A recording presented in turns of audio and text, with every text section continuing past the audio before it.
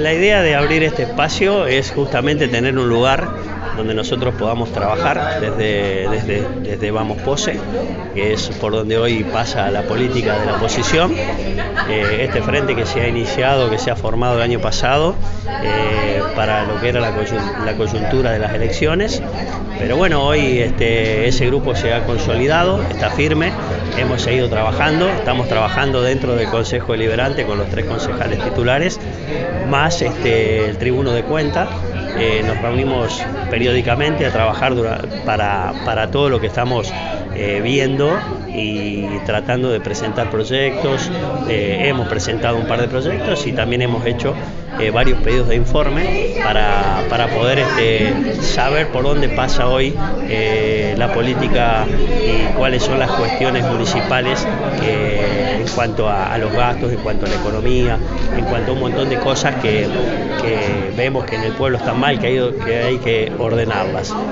también va a ser un espacio donde la gente va a tener la posibilidad de venir a, consultarnos y también a traer ideas eh, sobre proyectos que vamos a ir presentando, que la gente misma puede traer sus propios proyectos. Eh, nosotros vamos a estar acá martes, miércoles y jueves a partir de las 6 de la tarde, pero bueno, eh, todo el mundo que necesite hablar conmigo lo puede hacer cualquier hora del día, en cualquier momento, no tengo horario, no tengo día, estoy dedicado full time a, esta responsabilidad que he tomado eh, y bueno, cualquiera que me pueda, que me llame, yo siempre le contesto, a veces un poquito más tarde porque tengo muchos mensajes o porque estoy haciendo alguna otra actividad, pero siempre respondo los mensajes y siempre atiendo a la gente. La idea es de tener este espacio que justamente atenderlo en un, lugar agradable donde la gente pueda venir cómoda, sentarse y a charlar tranquila sin ningún apuro, que no sea solamente una charla en la calle. Eh, y después este, trabajar nosotros como equipo, que estábamos reuniendo por ahí en nuestra casa de familia, ya que no tenemos un espacio físico donde hacerlo. Entonces, bueno, este va a ser nuestro lugar de reuniones, eh, previo o posterior a cada eh, día de sesión que tengamos en el Consejo Deliberante, o por lo general lo hacemos siempre después de que Steffi termina una sesión de tribuno de cuenta, donde hay cosas que estamos viendo irregulares y que queremos empezar a trabajar en ese sentido para que no, para que no sigan pasando. Hace muchos años que este gobierno eh, se maneja de esta manera, eh, es la continuidad, más allá de que se ha cambiado su intendente, eh, sigue la continuidad de Pose sigue, como dicen ellos, es la continuidad del gobierno anterior y, creemos que hay cosas que se siguen haciendo mal. Por lo tanto, no es えー más que una crítica constructiva lo que nosotros hacemos, presentar proyectos y cosas para el beneficio de todos los ciudadanos. Necesitamos saber en qué se gasta el dinero, eh, cuáles son las órdenes de pago que nos muestran, por qué no las muestran, porque si nosotros pensamos y vemos, si nosotros vemos que hay órdenes de pago, el 30% de las órdenes de pago no te las muestran, 300 órdenes de pago, 400, 500 órdenes de pago no las vemos, no sabemos lo que pasa. Entonces nosotros podemos llegar a pensar de que es un gobierno donde hay corrupción. Entonces si vos eh, tenés,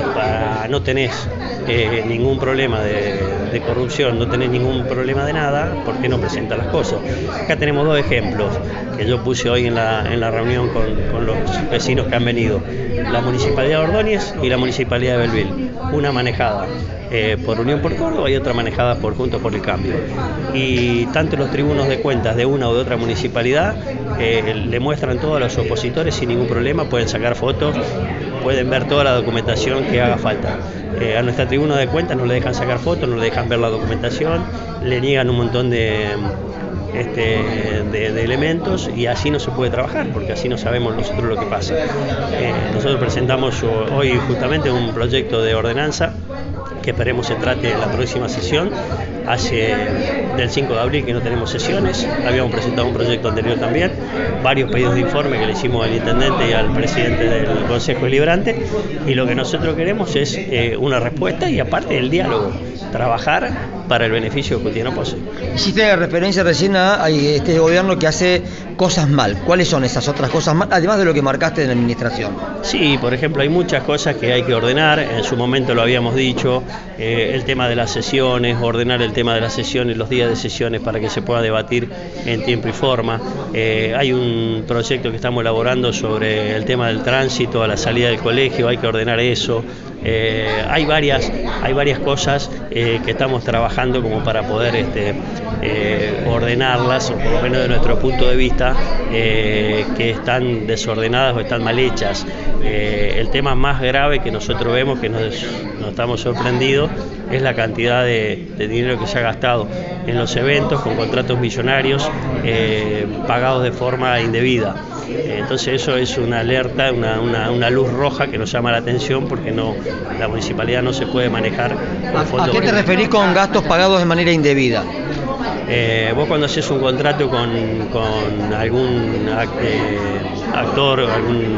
eh, grupo conjunto musical que viene a tocar en todos los eventos que hubo para, para febrero y para el Día del Pueblo, eh, los pagos se tienen que hacer más de 20 mil pesos, se tienen que hacer en, cheques o transferencias. Acá se ha pagado más de 1, 2, 3 millones de pesos en efectivo, con órdenes de pago mal hechas y pagado en dos veces, y el segundo, primero se paga el 50% adelantado, eh, cosa que vemos mal porque el actor, el, el artista no sabemos si va a viajar o no va a viajar. Pero más allá de eso, eh, eh, las órdenes se tienen que hacer por separada y los pagos se tienen que hacer en forma de vida. La forma de vida es con cheque de la municipalidad o con transferencia bancaria donde queda el registro. Si vos a, un artista le pagás 3 millones y medio de pesos en efectivo, eh, eso se presta a que uno pueda llegar a pensar mal. Entonces, para evitar todas esas cosas, creo que lo mejor es hacerlo de la manera que tiene que ser.